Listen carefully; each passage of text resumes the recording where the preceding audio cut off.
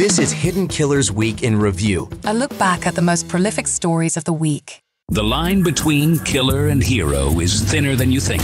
You're listening to Hidden Killers with Tony Brueski, featuring retired FBI special agent and chief of the Counterintelligence Behavioral Analysis Program, Robin Dreeke. And I believe he thinks he is a victim. Uh, we'll hear it in this. We're going to hear it also when he talks about his arrest. This is him uh, talking about, uh, you know, using super glue to reattach his finger. Let's take a look. So when I cut my finger that night, um, I had used scissors to cut. You know, the the super glue bottle had actually the tip had dried. Sometimes when I have an open super glue bottle, the tip dries, and I have to cut the tip.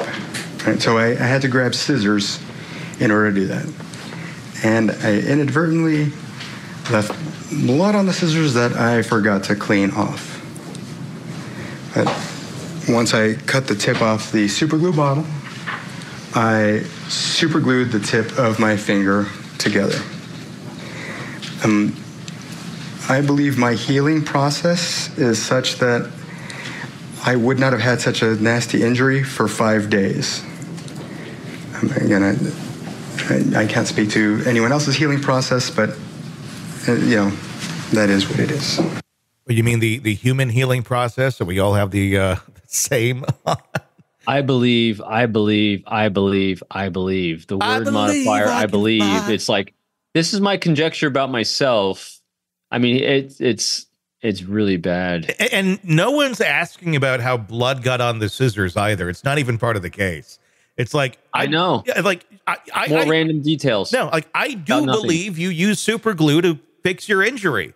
I don't believe it was from making uh, uh, chicken fried rice. and I also liked how he brought up something that defense, I mean, that the prosecution hasn't even brought up yet. You're probably going to hear this about me, but it's not this. I'm like, why don't you shut up? he can't help Just- himself. Th- This next piece here, this is what really hit it home for me of him thinking he is a victim. He's he's talking about when he was arrested and just how how difficult that was. And it really wasn't anything crazy about his arrest, um, other than he had tried to hurt himself. But it was it just oh, it, uh, poor me, poor me. Take a take a look at uh, his testimony uh, on this uh, angle of it. The search warrant was obtained, and I got pulled over um, early in the morning on uh, September 7th, 2022.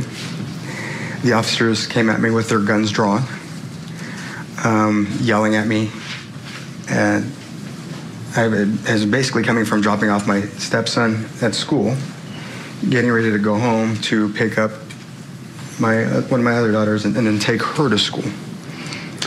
And so they just I don't know where three police cars just run up on me from the back, and I just, just scared. I had no idea what was going on. I mean, yeah, they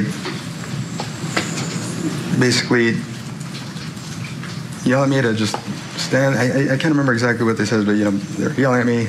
They patted me down. They handcuffed me. They threw me in the back of a patrol car. Um, I asked them what I did. I asked them, you know, can I call somebody? Can I do anything? I mean, I did this for over an hour and a half. Just tell me what's going on. Tell me what's, you know.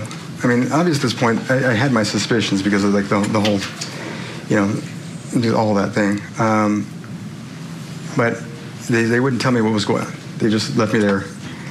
Um, and the whole time, I, my family didn't know where I was. My, as far as I know, my daughter was expecting for me to come home and take her to school. Um, I was distraught already by that point. It was my understanding that if I went to the Summerlin Area Command for them to just take this DNA and to take photographs of me, that I would be allowed to just come right back to my vehicle and go on my way. He's one of the shiftiest uh, defendants I've seen. It's hard to keep him in frame because he's always going back and forth. And I found that to be a little Yeah. bit odd. But then again, all victim. It's all him on that one.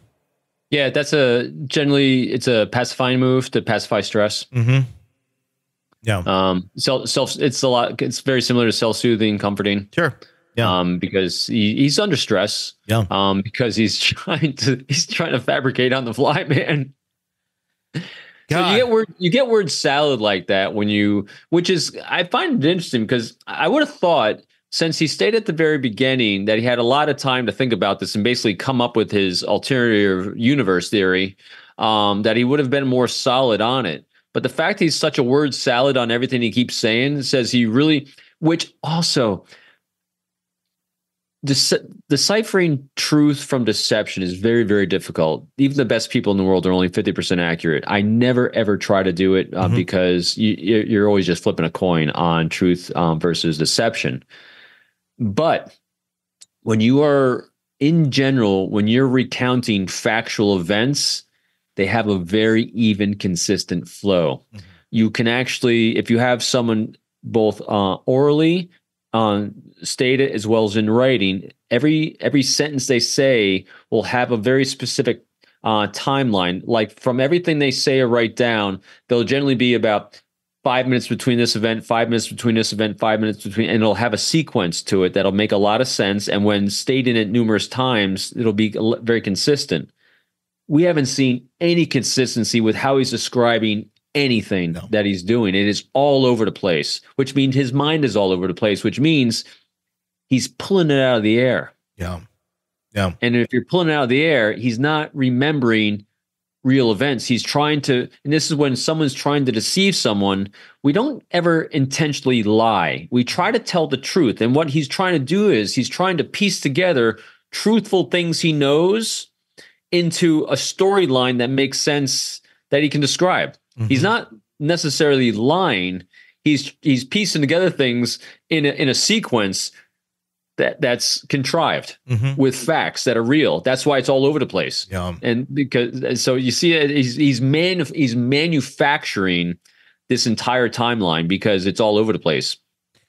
I thought it was going to be bad. Um, I didn't think he was going to be this bad on the stand. yeah, me This too. This, is the worst is- I think I've ever seen. It is. It's yeah. This is going to be like for the highlight reel at the end of the year of the worst testimony uh, Yeah. of, of any case. This this goes into here's exactly what not to do if you're trying to save yourself. Exactly. You're in the thick of a true crime saga, every detail sinking in. And then, wham, a commercial about something you couldn't care less about. It's like being served a microwaved dinner at a five star restaurant. But it doesn't have to be this way. Go for True Crime Today, Premium Plus on Apple Podcasts. With True Crime Today Premium Plus, you get uninterrupted, ad free episodes, extended interviews that dig even deeper into the muck, and early access so you can brag to your friends. It's like ordering the secret menu at a crime buffet. So, search for True Crime Today Premium Plus on Apple Podcasts, subscribe, and savor every twisted detail without interruption.